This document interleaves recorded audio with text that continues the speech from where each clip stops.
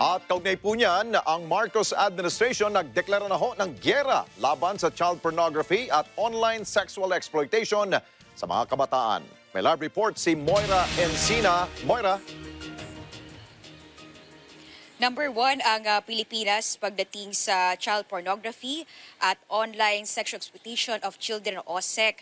Katum- katunayan nitong 2022 ay makyat sa 288% ang ah, mga nasabing kaso sa bansa base sa mga datos ng gobyerno. Dahil dito nga ay nagdeklara ng ah, gyera sa nasabing krimen si Just Secretary Crispin Remulla kasama ang ibang gabinete at opisyal na miyembro ng Interagency Against Online Sexual Exploitation Against Children. Yes, we are declaring a war on this.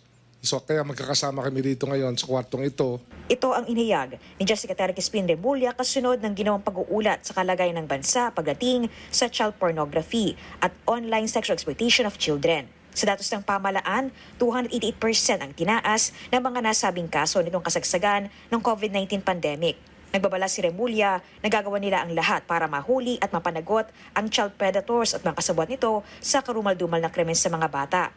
Tiniyak din ng kalihim na hindi magdadalawang isip ang DOJ katuwang ang ibang law enforcement agencies na habulin at papanagutin ang mga dawit sa pag-abuso sa mga bata. For those who will will insist on on doing their old ways of uh, of uh, exploiting our children in in this heinous manner, well, we're here to to punish you. We will not allow this to go on further. Tiniyak naman ng interagency na inaaksyon nila ang mga nasabing kaso. Sinabi ni NBI Director Medardo de Lemos na binibigyan nila ng priority ang mga OSEC cases. Sa tala ng NBI, umaabot na sa 29 ang convictions laban sa mga sospek na nakuha ng hensya sa mga korte mula 2019. Bukod dito, ay may aktibong iniimbestiga ng NBI na 46 na kaso ng child pornography. Ang mga initiatives po ng NBI ay nagtatag, nag-establish kami ng aming ATRAD, yung Anti-Human Trafficking Division sa, sa ating headquarters dito sa Manila. At nagka-cluster din tayo ng ating mga human trafficking investigation groups in the three islands, Luzon, Visayas, and Mindanao. Nagkaroon din tayo ng mga designated contact persons pagdating sa sexual online sexual human trafficking. Ah, para malaman din ng karamihan, meron din tayong monitoring, online monitoring ng mga OSEC cases. Siniguro naman ng liderato ng Philippine National Police na handa rin sila na tumulong sa pagsawata sa child exploitation. Mula 2019 ay umaabot na sa 250 operasyon na isinagawa ng PNP laban sa mga sangkot sa nasabing kaso, habang 225 ang kaso ang naihain laban sa perpetrators ng mga OSEC. Katuwang din ng gobyerno ng Pilipinas sa paglaban sa exploitation ang mga counterparts nito sa UK, US, the Netherlands at Australia para madakip ang mga child predator. The law enforcement agencies around the world know this that uh, tayo talaga ang favorite pl- place ng mga ng mga ganito the, these perverts who who like uh, exploiting the children. Ano yan? Uh, it's it's a, it's not a source of pride it's a source of shame.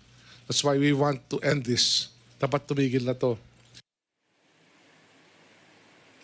Tiwala si eh, Remulla na sa tulong ng komprehensibong approach ngayon ng gobyerno laban sa OSEC at mga katulad na krimen sa mga bata ay magtatagumpay ang bansa para ito ay ganap na matuldukan. Makakatuwang din anya ng Marcos administration sa gera ang Anti-Money Laundering Council at ang ah, DICT particular sa pagtunton o pag-trace sa pinanggagalingan ng pera mula sa ibang bansa at nang sa ganon ay maihinto rin ang ah, tinatawag na money flow sa nasabing krimen.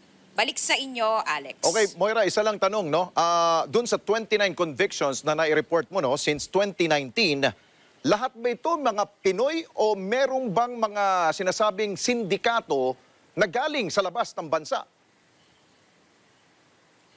Yung 29 convictions sa part yun ng NBI sa mga na-file nilang cases, ang banggit kanina kasi ng, ng interagencies, ang mga perpetrators ay mga dayuhan, karamihan, sa batis sa datos nila, mga from European countries.